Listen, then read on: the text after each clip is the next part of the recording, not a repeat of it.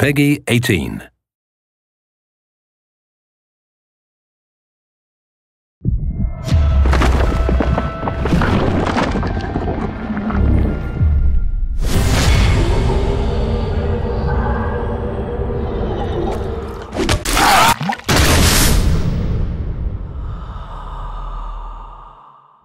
La nouvelle technologie apportée par la Wii U a drivé le projet Zombio dès le début. Il nous a fallu apprendre à créer des émotions partageables sur deux écrans.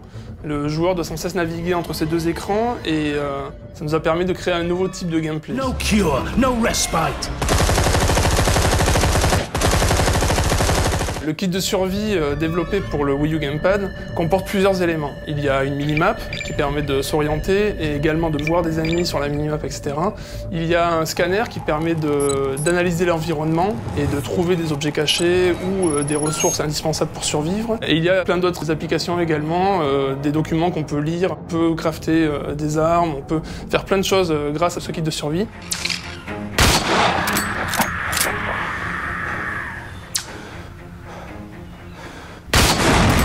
Dans Zombie U, le joueur peut laisser des messages à la communauté. Pour cela, il doit utiliser une bombe de peinture avec laquelle il peut laisser des messages sur les murs pour indiquer des, euh, passages secrets, pour indiquer des pièges ou euh, indiquer des endroits où trouver des ressources. Et ces messages peuvent être lus par toute la communauté euh, grâce au gamepad en utilisant tout simplement le scanner.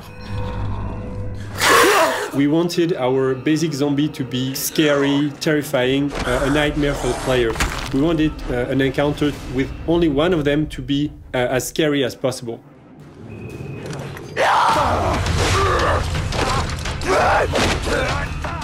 On top of our basic enemies, we developed uh, some special zombies, uh, special infecteds. Uh, they are here to give the player variety in uh, enemies he has to face.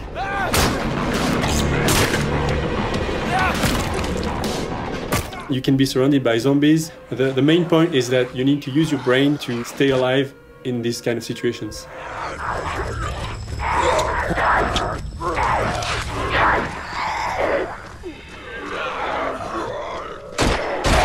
The more you shoot with a specific gun, uh, the more precise or the more uh, or the faster uh, you're going to be with that weapon.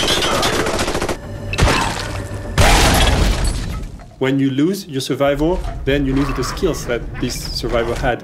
Uh, so you need to uh, regain these skills again. We've got a weapon upgrades, so you can find a silencer or you, you can find a bigger magazine.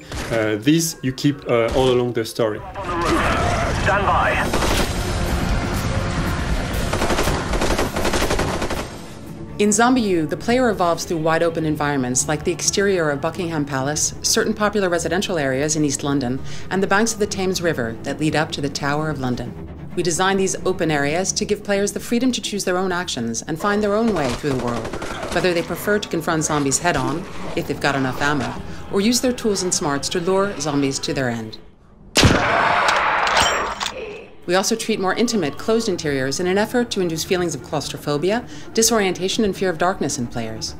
We wanted to bring back the sensations of playing a classic survival horror game, where the player fears for his or her life at every step and around every corner.